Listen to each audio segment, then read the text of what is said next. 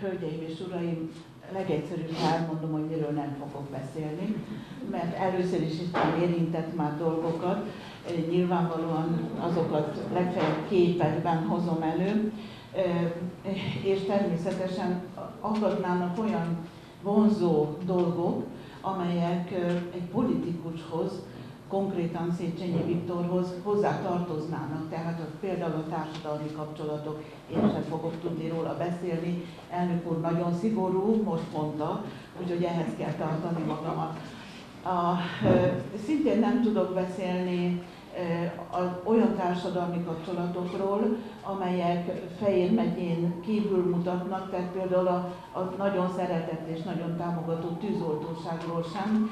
Reméljük, hogy ha kötet lesz belőle, akkor, akkor majd ott sikerül egy kicsit kitudni a formámat. Azt szeretném csak, csak ebben a nyitódiában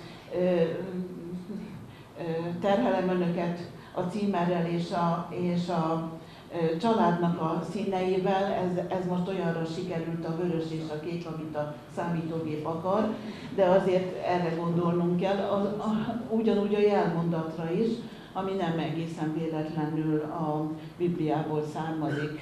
És azok, hát Széchenyi család története folyamán többféle jelmondattal is találkozunk, azt hiszem, hogy ettől függetlenül ez a legfontosabb. Olyan politikusról fogunk beszélni, akinek sokféle vonatkozása van tehát, a mentségeink között már elmondtam egy párat, de azt mindenképpen előjáróba kell megemlíteni, hogy 24 évi főispánság és több mint 13 évi katonáskodás jellemzi ezt az embert, és, ez, és Széchenyi Viktortól ez a kettő egyáltalán nem idegen, ez nagyon fontos megértenünk meglátszott rajta, hogy huszártiszt. Ugye Soly Lajos megyes püspök írja róla az emlékirataiban, és ezt minden, mindenki kiemeli, aki beszélt, találkozott vele, aki például a frontra írta, írt Birkei Ferenc egy levelet neki, és visszasírja az éjszakában nyúló közgyűléseket, és azt a, azt a, azt a habitust, amivel ezeket Széchenyi Viktor levezette.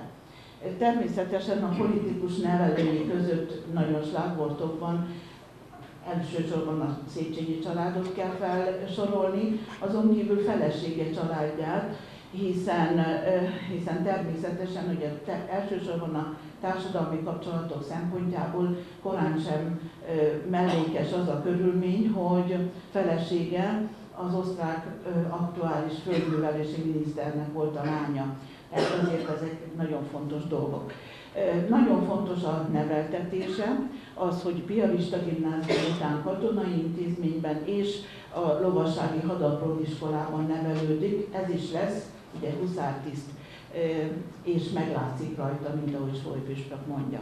A katonaságot 1888 és 1902 között kell számolnunk, és utána még a világháborúban is, bár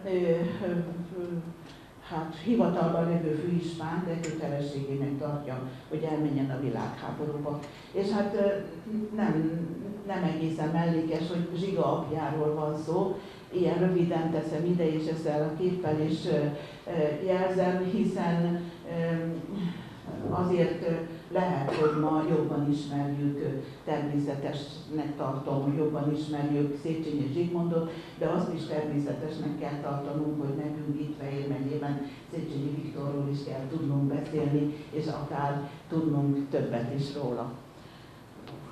Katonai karrierjéről néhány szót, ugye Otto főherceg a későbbi királyapjának a kamarása volt, a 7. huszárezredben szolgált, de meg kell mondanom, hogy a 10-es huszároknál kezdte, ezt Fehérváron szintén nagyon fontos megemlíteni.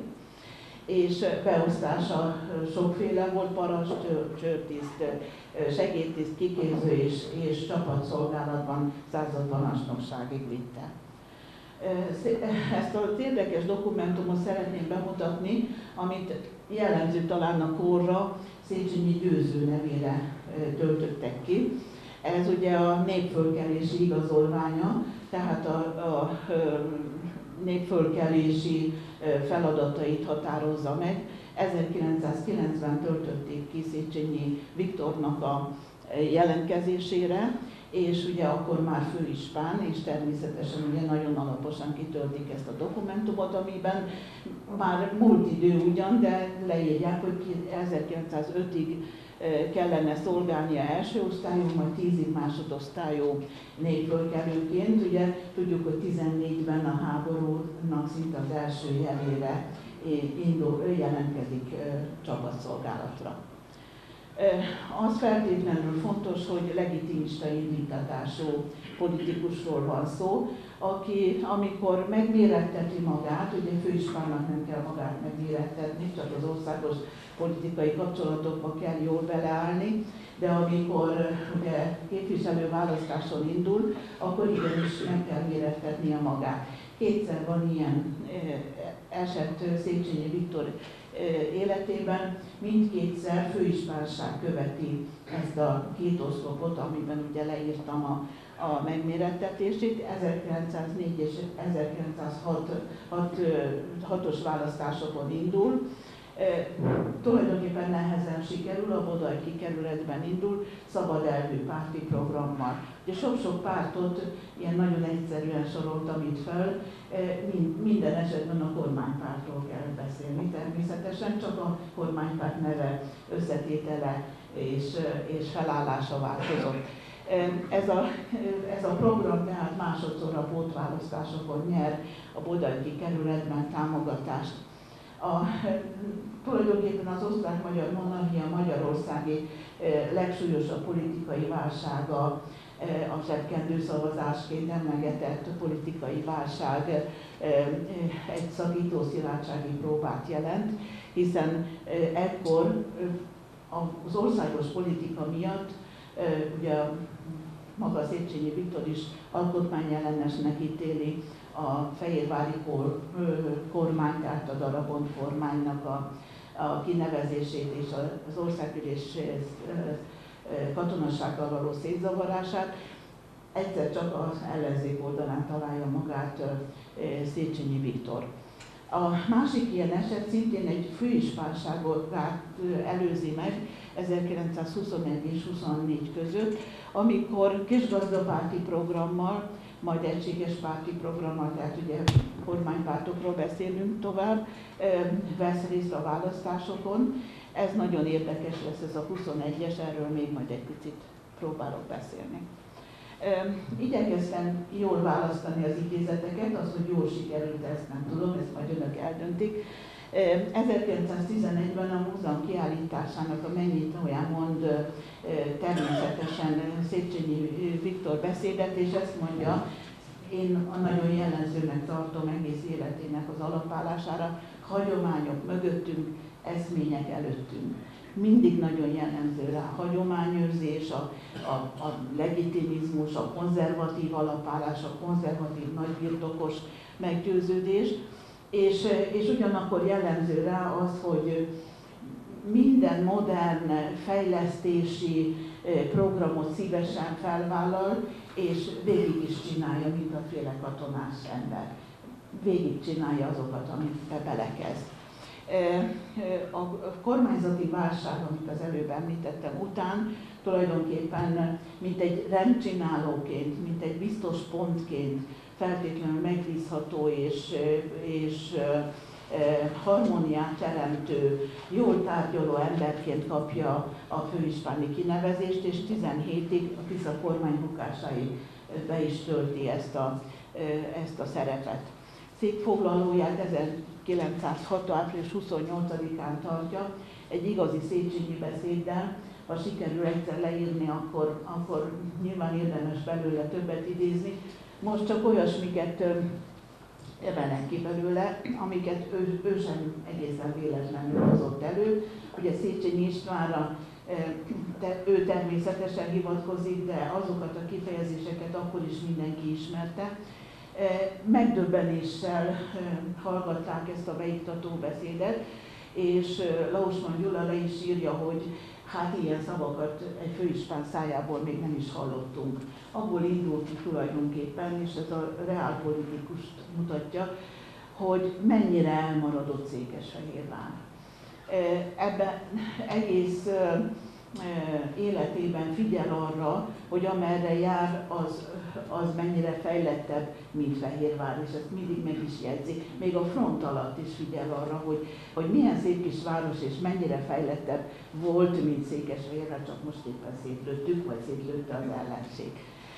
Ebben a székfoglalóban tehát abból indul ki, hogy valamit tenni kell, és nem lehetséges, hogyha 30 ezer ember jó szándékkal összefog, és erőt és akaratot tesz a vállalkozásba, és tudomásul veszi, hogy befektetés nélkül nincsen kamatozás, akkor eredményt fogunk elérni, ugye tehát egy Széchenyi István idézettel él, és az eredmény pedig az lesz, amit ő szívesen remél, és mindenkitől támogatást vár hozzá, hogy Székesfehérvár nem volt, hanem lesz.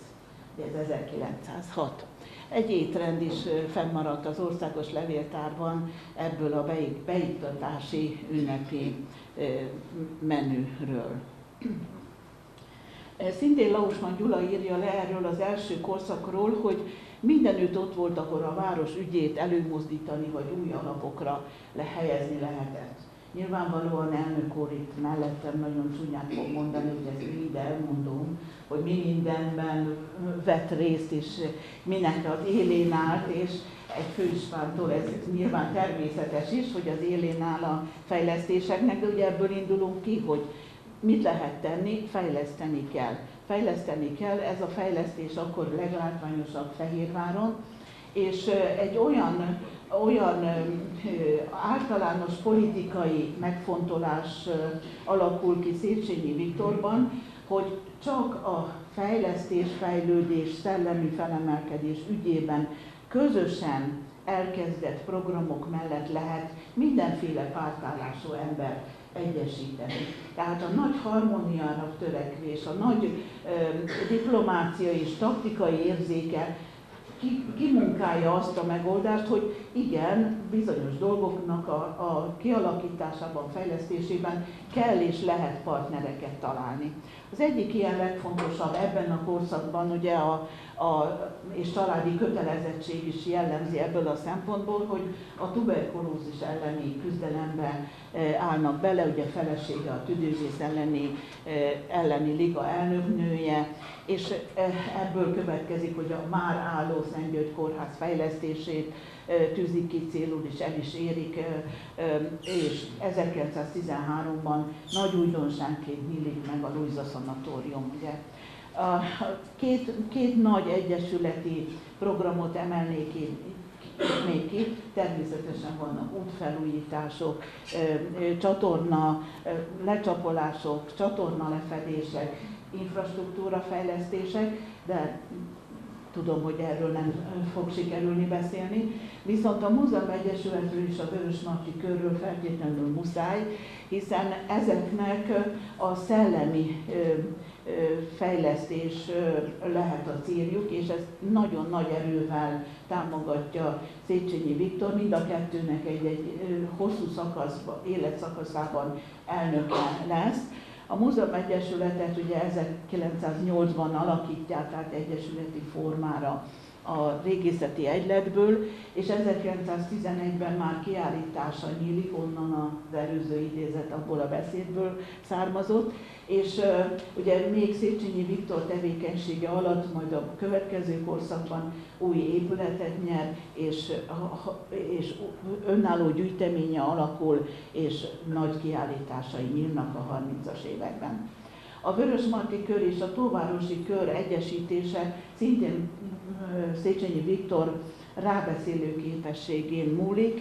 Ez egy nagyon sikeres vállalkozás lesz, és a külvárosokból is becsalogatja a Vörösmarty kör tevékenysége iránt érdeklődőket, nagyon jelentős élet alakul ki, és ebből ö, tulajdonképpen egy nagyszabású terv lesz, Széchenyi Viktor magánpalotáját is, tehát a Kossuth utca 14-es számú palotájában is kezdőtől fogva úgy számolnak, hogy a Vörösmarty kör rendezvényeinek ott helye lesz. Tudjuk, hogy aztán a Vörösmarty kör és Széchenyi Viktor közös befektetéseként sikerül hát eladni, nem egészen tisztázottak ebben a dologban a, a pénzügyi viszonyok, de nem is ez a feladatunk, hiszen székházat nyer a Vörös kör ebből. Egy, egy érdekes képet ragadtam ki, természetesen Széchenyi Viktor miatt, hiszen Csók István így ülte meg a 70 éves születésnapját. Nem vagyunk messze attól az utcától, amit sokáig Csók István utcának hívtunk. Akkor állítólag megkérdezték Csók Istvánt, hogy melyik legyen az az utca, és aztán egyszer csak elnevezték. Ugye ma megint Megyeház utcának hívjuk, mert öreg korában, mikor újból itt járt Csók István, akkor azt mondta, hogy gyerekek, nem is ott történnek ezek a dolgok, amik miatt én azt szerettem volna. Na, néhány képpel próbálok operálni Széchenyi Viktorról, ezt ugye abból a igazoló jelentés képből vettem. Tíz éves főispánságának a ünnepségei természetesen óriási beszédekkel és nagy társadalmi érdeklődés mellett zajlottak le. Egy kis kiadványt is, üdvözlő költeményt is kiadtak erre. Az utolsó vers a két sorát idézem, talán ránk jellemző Fehér megyére, hogy köszönt aranykalász termő megyénk, nemes munkát szerencsés sorsosabb. Ez egy ilyen vers, elég nehéz rajta átküzdeni magunkat, de, de nagyon szép a főispáni lakosztályról, a megyeháza, megyeháza főispáni irodájáról találtam egy képet. Igaz, hogy a Károly József anyagban, de bocsánat érte, aki jobban tud, az, az szálljon meg vele. Tehát egy, egy másik főispán idejéből. Minden esetre ennek a, az apropója az, hogy kicsit jellemezzük a főispánt. Először is az 1906-os beiktatására később, már felmentésekor emlékezik, és érdekes módon itt találjuk meg, hogy még az ő idejében is létezett a, a főispáni beiktatás hagyományos szokása, hogy tudni még tíz szolgabíró erős karja székkel együtt felemeli a főispán.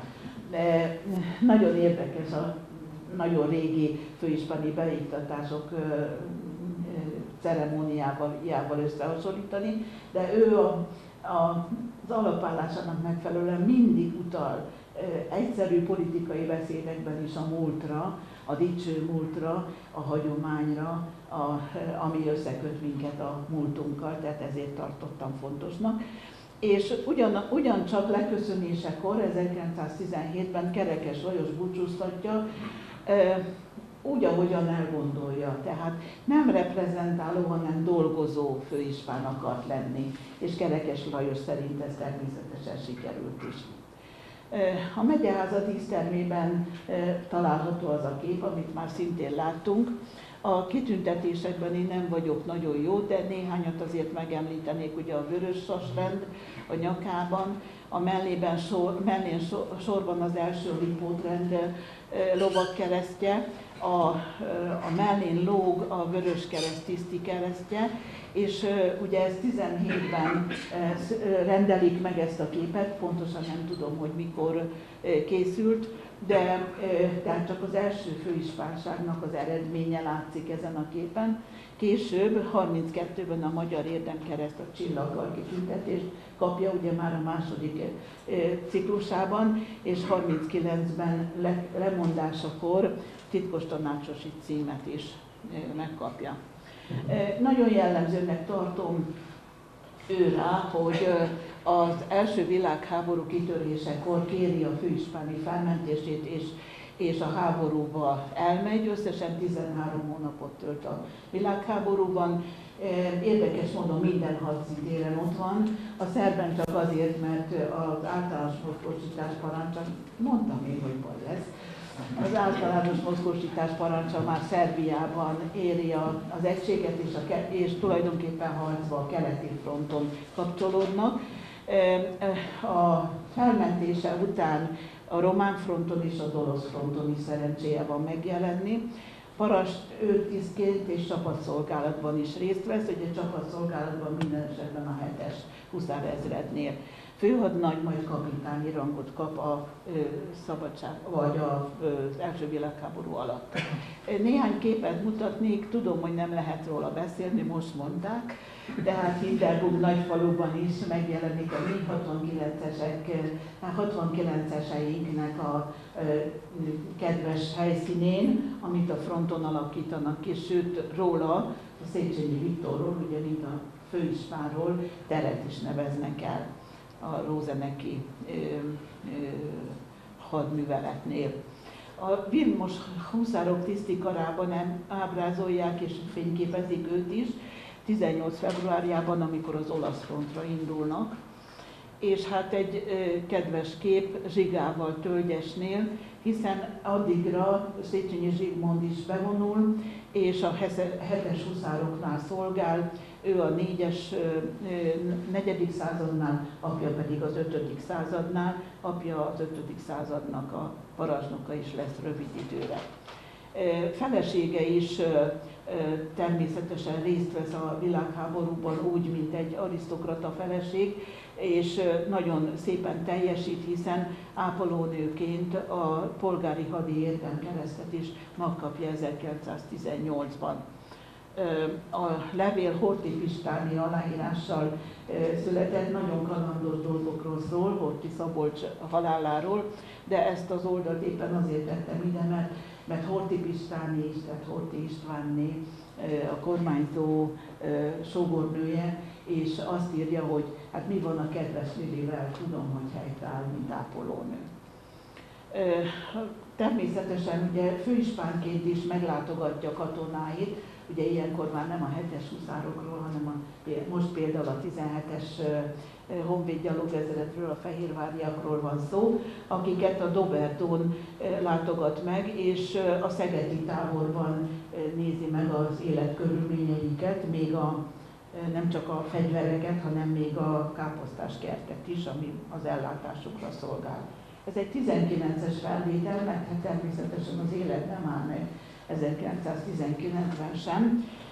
Egy összeírólap tanulsága szerint ekkor Széchenyi Viktor nyugdíjas főispán, és rögtön meg is mutatom ezt az iratot, úgyhogy csak a képre szeretném kicsit fölhívni a figyelmet, hogy talán ez a legvidámabb kép, hát egy kertészlegénynek ugyan nagyon sok felelőssége biztos nincsen. Itt van az, ez az összeírólap, Ugye nagyon érdekes, hogy öt gyereket említ még, és, és hát meg, megfogadjuk, hogy fordítunk és itt van, hogy milyen szakszervezetnek tagja, ugye Magyarországi Szocialista gazdá, Gazdák és Gazdatiszteknek a szakszervezetének a tagja, és különös hajlama a lótenyésztés, és kéri a sárpentelei birtok intézését. Ezt állítólag meg is kapta, de nem, nem nagyon jól sikerült, és ezért valószínűleg a Somogyi uradalomban eh, bújdokolt kertészlegényként. Ez az igazoló jegy, amiről a képet már mutattam, ennek az adatai is nagyon érdekesek. Szerintem a legérdekesebb ez a fiatalkori kép, és az, hogy a tetoválás is be van rá jegyezve, hogy milyen tetoválása van. A háború természetesen téma Széchenyi Viktornál először is naplót vezet, másodszor fényképeket készít, azokat is külön kötetben rendezi. Harctéri naplója 2016. decemberében megjelent, Hadi napló címen, nagyon-nagyon érdekes olvasmány és ezred albumba, tehát a hetes ezred albumába is különböző hadszínterekről élménybeszámolókat készít. Mások írásait is figyelemmel kísérik, itt a, a levélben Kozma Miklóssal, Kozma Miklós közöli meg, hogy a, a, egy csapatiszt naplója című írását, hogy értékelte és, és helyesnek tartotta, hát dicsérte érte. A háború miatt jelentkező ügyeket a háborúban és már itthon is felvállalja, természetesnek tartja, hogy a sebesült ápolásban, a tábori kórházak létrehozásában részt vegyen a hadszintéren is, külön látogatja a Fehér megyeieket, és hát ugye szintén nem sikerül róla beszélni, de a Széchenyi család családülésén elhatározza 1915. szeptemberében egy komplettül felszerelt sebesült vonatot küld a frontra, ahol természetesen ugye sebesült ápolás, sebesült szállítás van, orvosi ellátás, és ha erre nincs szükség, akkor főznek a katonáknak. Nagyon érdekes lenne ezt is egy kicsit megvizsgálni. Szint, igen, tudom, már, már mondja is, nem csak mutatja. De Zemplén oroszi fel, újjáépítését is a Széchenyi család vállalja föl. Sajnos a Trianon döntés következtében ugye határon túlra kerül. Itthon is nyakig benne van ezekben a dolgokban, a sebesült és árvaellátásban, menekültek elhelyezésében és ellátásában, ugye már a háború elől is sok menekült érkezik, de természetesen a háború végén a terület veszteségek miatt borzasztó nyomás nehezedik Fehér megyére. Hadifoglyok hazahozásában segít, a levél is erről szól, egy Szibériában rekett hadifogoly haza hozatalában kér segítséget egy apa a fia számára, és hát természetesen azt is látjuk a levelezésekből, hogy az elszakított országrészek valamilyen segítésében is részt vesz egykori katonái folyamodnak hozzá, vagy a hadifalviak, stb.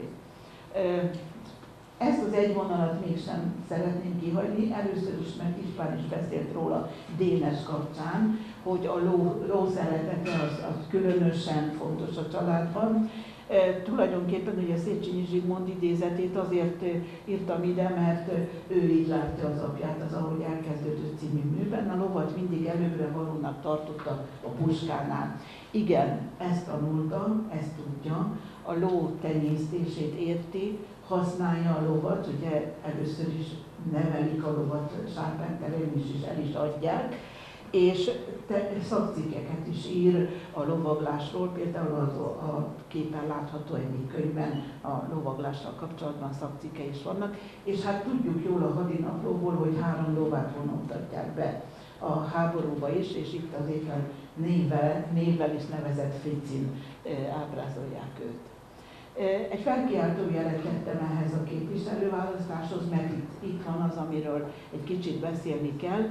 Ugye a kisgazdapárti programmal lép fel 21-ben, és a kisgazdapártaból való kilépése az nagyot szól, hiszen a kisgazdapárt ugye 24-22-ben a fő kérdés a király kérdés, tehát negyedik Károly hazatérése. Bocsánat, hogy nem a szokásos kifejezése, a király puccsal élek, de ezt megengedhetetlennek tartom, úgyhogy eh, hogy egy király visszatérjen a királyságába, ez talán nem egészen pucs.